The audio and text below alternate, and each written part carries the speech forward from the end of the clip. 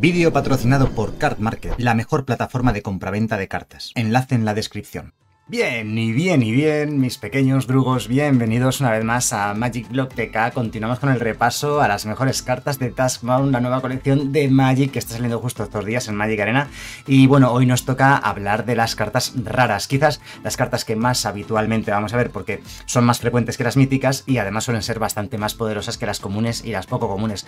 Os voy a dar mi recomendación de las 10 cartas en las cuales deberíais enfocaros o focalizaros a la hora de gastar comodines, a la hora de tenerlas en cuenta para mazos y bueno, de todas maneras también esto es una idea preliminar, es decir, la colección acaba de salir, no ha habido tiempo todavía de probar las cartas prácticamente. Son cartas que yo creo que pueden dar bastante juego y son mis 10 raras favoritas. No digo que sean las mejores, no digo que sea obligatorio tenerlas, pero son mis 10 favoritas que eso cuenta también algo, ¿no? Tampoco vamos a dar un orden exacto, simplemente las 10 que más me gustan y la primera de ellas es la historia de Tamillo, una carta que cuando la vi me encantó, es una de esas eh, sagas legendarias, además, ojito, encantamiento legendario, por cierto, el hecho de ser encantamiento es positivo porque esta colección tiene un montón de sinergias con encantamientos, es relativamente barato, cuesta 3 y tiene ni más ni menos que 4 capítulos. Los tres primeros son iguales, son moler dos cartas, lo cual está guay para generar sinergias de cementerio, ya sabéis, y si se muelen, ojo con esto, dos cartas que compartan un tipo de carta, o sea, por ejemplo, te salen dos tierras, o dos encantamientos, o dos lo que sea, entonces el proceso se repite, robas una carta y el proceso se repite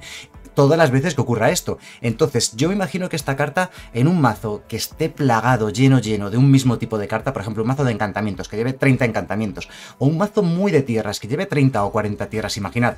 Entonces este proceso se va a repetir en varias ocasiones y vas a poder eh, tirar muchas cartas al cementerio y robar carta en cada ocasión que ocurra ello. Creo que es una carta muy buena, muy poderosa y yo no sé si la gente se habrá dado cuenta del poder que tienen estos tres primeros capítulos. Luego, posteriormente, el cuarto y último capítulo, pues es una locura, ¿no? O sea, es decir, exilias cualquier carta, o sea, todos los instantáneos, conjuros y planeswalkers tamillo que haya en tu cementerio y los puedes, los copias y los puedes jugar. Vale, los puedes jugar, pero ojo, cuidado, pagando su coste de maná, ¿de acuerdo? Nadie dice que sea gratis, pero aún así, eh, traspasado unos cuantos turnos, el poder hacer esto, pues es algo bastante, bastante poderoso. Una carta que creo que es muy interesante y que seguro que dará juego, seguro que va a haber algún mazo creado en torno a ella, ya lo veréis, tiempo al tiempo acecha pasillos silencioso. Esta es una de esas cartas humildes que no es una carta que vaya a ganar partidas por sí sola, no da una ventaja bestial, pero es que es tan baratita, entra tan pronto y encaja en tantos mazos de tipo tempo o tipo midrange, por ejemplo, en monoblue tempo, en Dimir, Dimir, las, las bajas azules negras, estas eh, midrange que tienen un poquito de todo, también encaja bastante bien. Es un por dos, es un 1-1, ¿vale? Por cierto, también es encantamiento, por lo cual genera esas sinergias con encantamientos. No puede ser bloqueado, es totalmente imbloqueable si hace eh, de combate a un jugador, eliges una de las tres opciones que tiene. La primera opción es ponerle dos contadores más uno más uno, o sea que pasa a ser un 3-3 imbloqueable. La segunda opción es robar una carta. Y la tercera y última opción, que siempre es, normalmente va a ser la que vas a elegir la última, deja de ser el acecha pasillo silencioso porque se convierte en una copia de otra criatura objetivo que controles. Bien, entiéndase, si no tienes otra criatura objetivo que controles, esto sigue siendo un acecha silencioso, imbloqueable, con sus dos contadores más uno más uno y se robar carta. Yo creo que la última parte va a ser siempre la, que vas a elegir la última, normalmente. Ahora bien, si tienes una criatura muy buena en mesa y la quieres eh, copiar, pues la copia. Dejará de tener el imbloqueable, mm, pero tendrá los dos contadores más uno más uno. Es que yo creo que mucha gente tampoco se ha dado cuenta del potencial de esta carta. Sus dos contadores más uno más uno se quedan y hace una copia de una criatura objetivo que controles. Si no controlas, se queda como está, que sigue siendo bueno. Y además es bastante interesante con efectos tipo blinqueo para volver a repetir el proceso, ¿no? Vuelve a entrar en juego y vuelve a ser un 1-1, imbloqueable, etcétera, etcétera. Creo que esta carta va a entrar como mínimo, como mínimo en los mazos Dimir Midrange. Ya veremos si acertamos con ello. Y en los mazos de curiosidad, ese encantamiento que le pones a la criatura, esa aura que hace que si hace daño robas carta, como es imbloqueable, también está bastante interesante. Ya veremos a dónde va esta carta porque me parece bastante bueno. Siguiente carta, explotó. Vale, me ha pegado ahí un pantallazo rarísimo el, el, ordenador. Bueno, corredor muerto viviente. Ojo con los zombies, que esta carta entra muy bien en mazos zombies agresivos rojos negros, pero sobre todo esta carta entra en mazos tipo Sacrifice. Ojito con los mazos Sacrifice que hay en esta colección reciben un montón de elementos interesantes. Por dos es un 2-2 arrolla prisa. Ya solo con eso es una típica carta agresiva, jugable, en un formato como es estándar. Ya sabéis que generalmente mis análisis los hago pensando en estándar fundamentalmente, porque es el formato más jugado y bueno, es el que solemos jugar también además aquí en el canal, ¿no? Por 2 un 2 desarrolla prisa lo hace jugable en los mazos agresivos, con, la, con el extra de que más es zombie para los mazos de zombies. Pero lo bueno es su segunda habilidad.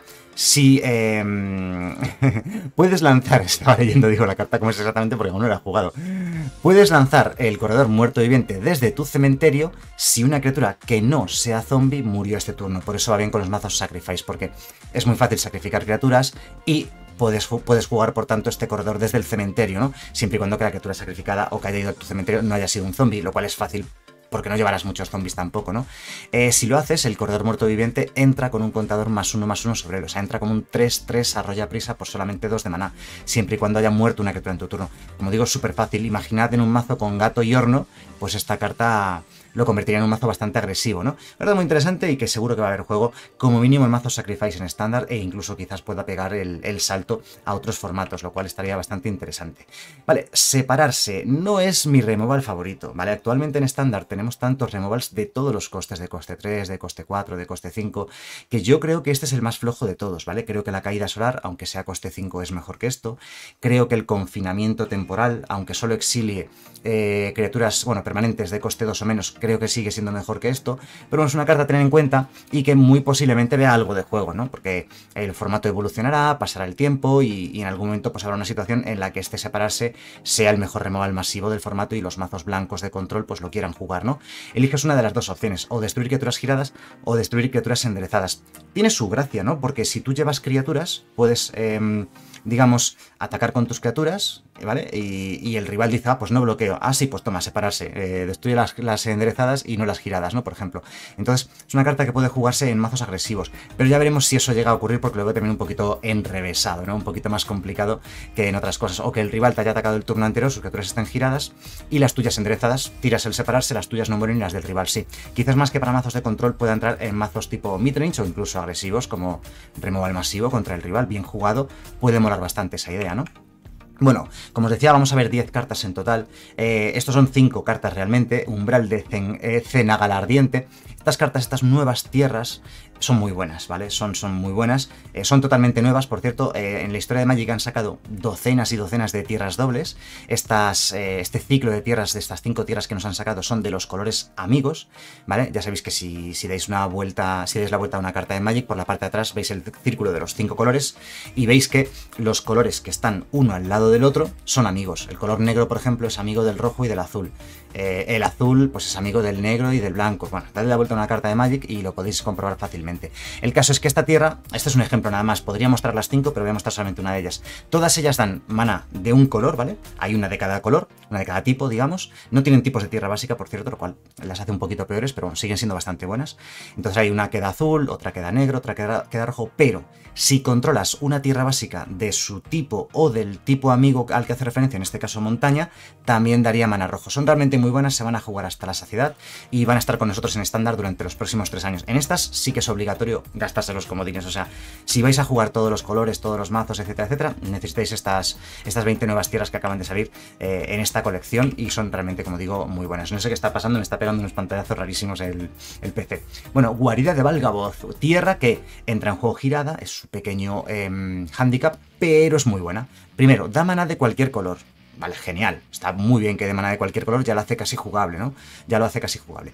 Luego, tiene antimaleficio, es decir, el oponente no puede hacerle objetivo con hechizos o habilidades. Bueno, ya sé que no hay muchos hechizos o habilidades que hagan objetivo a tierras, pero tiene eso. Al menos esta no puede ser objetivo de hechizos o habilidades del oponente. Un pequeño extra que tiene, ¿no? Pero lo importante, y es lo más recalcable de esto, es que es encantamiento. Las tierras que son artefacto salieron hace ya más de 20 años en Mirrodin, en el año 2003, y las tierras artefacto, de todas las tierras artefactos que han salido, todas se han jugado muchísimo, todas, porque claro, generan sinergias con mazos de artefactos. Si algo depende del número de artefactos que controlas va a ser mejor, ¿no? Bueno, pues lo mismo pasa con esta. Esta es un encantamiento. Toda carta que haga referencia a encantamientos se va a ver potenciada gracias a estas tierras. Esta carta se va a jugar 100% seguro. Si os gustan los mazos de encantamientos, va a haber seguro un mazo bueno de encantamientos. De hecho, en los tres últimos años, en estándar, hemos tenido un mazo muy bueno de encantamientos, que era muy popular además. Eh, pues va a volver otra vez un mazo de encantamientos estándar, 100% os lo garantizo. Y, va a llevar cuatro tierras de estas. Son muy buenas y, funcionan a la perfección en ese tipo de mazos. De hecho, seguramente se juegan incluso en otros formatos aparte de estándar. Línea mística de la resonancia, carta que ha dado mucho que hablar. Las líneas místicas son encantamientos que puedes poner en juego gratis directamente antes de empezar la partida si las tienes en tu mano inicial, ¿vale? Luego ya posteriormente, si, si te las robas más adelante o lo que sea, pues bueno, la puedes jugar pagando 4, pero la idea es jugarlas gratis desde el principio, que quedan en mesa, que queden en mesa desde el principio de la partida, ¿no? Y esta en concreto lo que hace es que si lanzas un hechizo de instantáneo de conjuro que haga objetivo a una criatura que controles, puedes copiar ese hechizo. Bueno, dice copia ese hechizo, ¿no? Y puedes elegir nuevos objetivos para la copia. Teniendo en cuenta que actualmente uno de los mejores mazos de estándar, por no decir el mejor, y uno de los mazos más jugados, por no decir el más jugado, es la monored agro, y que la monored agro se fundamenta totalmente en hacer objetivo a tus criaturas, esta carta va a haber juegos seguro en ese mazo, y ya se está hablando, ya he leído por ahí eh, gente que ha encontrado eh, bueno, no es, muy, no es muy complicado ¿eh? encontrarlo, pero que ha encontrado fácilmente eh, posibilidades de ganar incluso en el segundo turno gracias a esta carta. Ojito que no sea objetivo de prohibición, no os preocupéis, si os gastéis los comodines en ella o si tenéis cuatro copias de línea mística y la prohibiesen más adelante, os devolverían los comodines correspondientes, los cuatro comodines raros, así que no os preocupéis por gastar comodines en esta carta, que tiene muchos visos de ser prohibida, no tengáis miedo a que os la prohíban porque no perdéis nada. Toby, amiguito de las bestiamigas. No es la primera criatura de este estilo que sale en la historia de Magic y todas las que ha habido previas han visto bastante juego y han sido bastante buenas. Esta quizás sea la peor de todas, para mi gusto. Creo que es la peor, pero sigue sin ser demasiado mala. Por 3 es un 1-1 como las otras versiones de esta carta. Esta de aquí es legendaria cuando las otras no lo eran. Pero bueno, eh, es hechicero y es humano, lo cual, bueno, ayuda un poquito, ¿de acuerdo? Pero lo importante, pone en mesa una 4-4 que no puede atacar o bloquear a menos que lo haga junto a otra criatura, ¿de acuerdo? Si yo quiero bloquear con ella, tengo que estar bloqueando al menos con otra criatura, a, quien sea, pero bloqueando con otra criatura. Y si quiero atacar con ella, tengo que atacar con otra. Eso lo limita muchísimo, ¿vale? Convierte la criatura en algo mucho más inútil, pero da igual, porque sigue siendo un 2 x 1 automático. Tú juegas a Toby y tienes además del 1-1, tienes un 4-4. Y ese 2 x 1 es muy valioso. Si puedes sacar y meter en juego al Toby, ese tipo de cosas, vas a poner más tokens. La cosa está, está muy interesante, ¿de acuerdo? Es una carta que yo creo que es muy buena, a pesar de ser la peor de su estilo, ¿no? De su clase. Ya, como digo, no es la primera. Además tiene un pequeño extra que induce a jugarla en mazos de fichas. Si controlas cuatro o más fichas de criatura, cuidado que dice de criatura, porque es muy fácil controlar fichas de tesoro, de pista o de lo que sea, pero eh, dice fichas de criatura, entonces todas eh, las fichas de criatura que controlas tienen volar, ¿de acuerdo? Lo cual es interesante, como digo, para un mazo de fichas y posiblemente la veamos por ahí. Y otra de las cartas que ha dado también muchísimo que hablar, el acuchillador imparable, porque hace combo automático, victoria automática, con el aclazod. El, el aclazod este, ¿cómo se llama? No, el, vampiro este que hace que si un jugador fuera a perder vidas, pierde el doble de vidas. Vale, pues ¿qué hace el acuchillador? El combo es automático, una es la partida automáticamente y es un combo de dos cartas. El acuchillador es de coste 3 y el otro, el aclazod este, es de coste 4. Bueno, pues el acuchillador imparable es una criatura de coste 3, que es un 2-3 toque mortal, ¿vale? En cuanto a estadísticas, no destaca porque es 2-3 nada más, para coste 3 no es nada del otro mundo. Bueno, es zombie, mira un pequeño extra que tiene, y tiene toque mortal. Toque mortal quiere decir que si hace daño a una criatura, dicha criatura muere. Siempre, ¿de acuerdo? Aunque no sea daño letal, si la criatura aguanta 20, da igual, con que la toque ya la mata. Bien, siempre daño, siempre que haga daño de combate a un jugador, ese jugador pierde la mitad de sus vidas redondeando hacia arriba, ¿vale?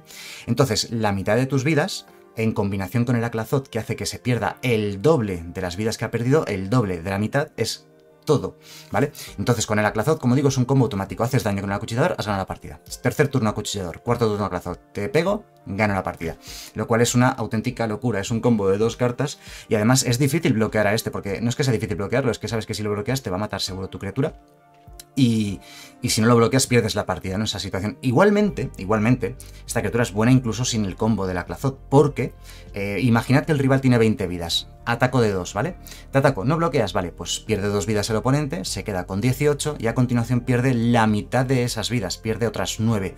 Así que esta criatura de coste 3, que pone aquí que pega 2, no pega 2, pega 11. El primer ataque que hagas en la partida, eh, las primeras vidas que le hagas perder al, rival, le van a hacer perder 11 vidas. Así que por 3 pega 11, podríamos decir, ¿no?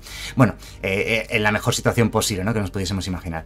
Cuando muera, sin, además, es que tiene más cosas. Si muere, si no tenía ningún tipo de contador sobre él, lo regresas de nuevo al juego girado bajo el control de su propietario con dos contadores de aturdimiento. El contador de aturdimiento eh, significa que em, no se endereza en el siguiente paso de enderezar y le quitas el contador de aturdimiento. Eso es lo que hace un contador de aturdimiento. Bueno, carta peligrosísima, muy buena y va a haber juego seguro, tanto de combo como simplemente por ser una buena criatura agresiva que hace perder un montón montón de vidas. Consejo demoníaco, tenemos aquí eh, un pequeño Demonic Tutor, uno de los mejores tutores de la historia del juego, bueno, el mejor tutor de la historia del juego seguramente el Demonic Tutor, por eso está restringido a una copia en tipo 1 de toda la vida, en Printage, mejor dicho, que viejo soy. Bueno, este conjuro de coste 2 dice que buscas en tu mazo un demonio, lo muestras, lo pones en tu mano y baraja. Obviamente eso es muy malo. O sea, decir, ¿qué demonios hay buenos o qué demonios necesitas buscar con un tutor? No, ninguno. Pero con delirio es decir, si tienes cuatro tipos de carta en el cementerio, busca cualquier carta. Con Delirio es un Demonic Tutor. Yo creo que esta carta la van a tener que... A ver, en tipo 2 no es muy buena, ¿vale? Porque en tipo 2 no es tan fácil obtener el Delirio y tampoco hay tantas eh, cartas tan poderosas como para que digas, ah, Demonic Tutor a lo que quiero y gano. No, en tipo 1, o sea, en Vintage, o en Legacy o en Modern, quizás todavía más, ¿no? Pero yo creo que en, en Vintage, especialmente en Vintage, esta carta debería ser restringida a una única copia porque es exactamente igual que un Demonic Tutor. En Vintage un, cualquier mazo te hace de primer turno Fetchland, con lo cual ya ha tirado tierra al cementerio.